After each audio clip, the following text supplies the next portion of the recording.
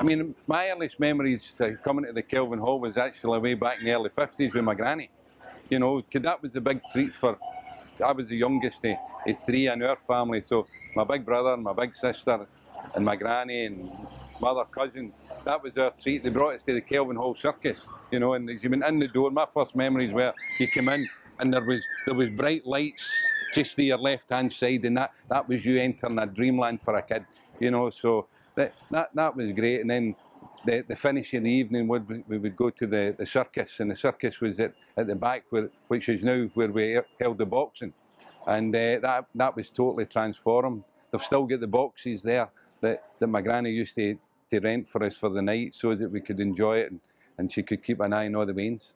So, so it was it was a great time, but that that was my earliest memories, you know, the, the, uh, way back in the early fifties.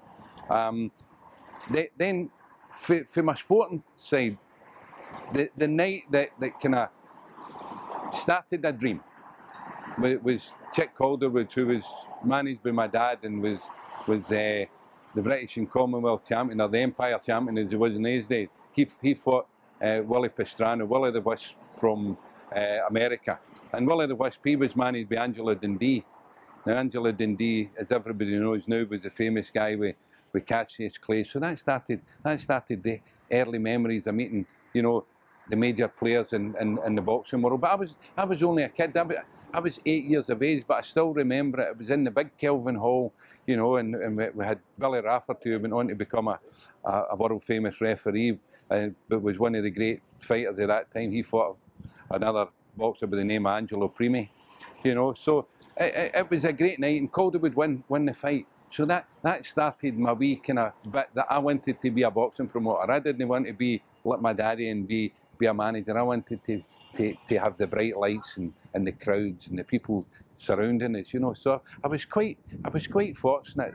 And then then then you you, you, go forward a, a few years and you could you, Jack Solomons, who was possibly the be- best and greatest promoter that Britain's ever had, he came to promote in Glasgow, and I held up the, the round numbers, which was in the days before the, you know, dolly birds with bikinis and t-shirts and so forth. But my brother had done that, that before me, so that that that was great. But it, it was it was really Jack Solomons that whetted your appetite because Solomons was always a, a, a man for perfection, and he could tell you where. Where, where the boxers made their entrance was round the back, was where they used to keep the elephants at the circus, and the dressing rooms and stuff like that for the performer. And you came round that way. So the minute the spotlight went on, Jack knew how many steps it was from that entrance to the first step of the ring. And he had changed into his uh, changed his dinner suit into a white jacket. And he, he was the ultimate showman. But it was the, it was that it was that perfection that really, really mattered for me. And, and even at an early age, that's what I wanted to be. I wanted to be, you know, Scotland's answer to Jack Solomons. And we, we had great times, and I seen Calderwood here boxing boxing against Henry Cooper brother Jim. Calderwood was very fortunate that night. He got a draw. I seen Calderwood um, fight, fighting against Eddie Cotton. Eddie Eddie Cotton. He, Calderwood definitely won it. That was that was probably one of my early remembrances of boxers being robbed. Calderwood was robbed against Eddie Cotton, and I went in and I gave the referee such dogs abuse. I gave him major dogs abuse, and he didn't take kindly to it. But yeah, that that that was the, that was the beginning of another story because I'm still used to giving referees dogs abuse if I don't agree with it. But the, the referee wanted to report, you know, a kid, you know, an 11 year old boy or something. He wanted to report him to the to the boxing board of control. Yeah. Did, did it bother me? No, but it probably made me slightly infamous at that time, you know, because it was reported in all the papers that, that I had uh, verbally abused the, and, and, and my, my opinion, rightly so. Even even 50 years later, I was I was right in, in Calderwood. So so we had we had a great we had a great night there and, and seeing that. But I mean, then we fast forward it, and the night, you know, Pat Clinton won the world title, 18th of March 1992. That that was all the years of preparation, all the years of apprenticeship, all the years of seeing things, all, all the years where it- there was something that I wanted to do. I'd promoted um, in conjunction with Mike Barrett in 1988. I had done um, Wilf Gentzen against Gary Jacobs, which was fine. A partner.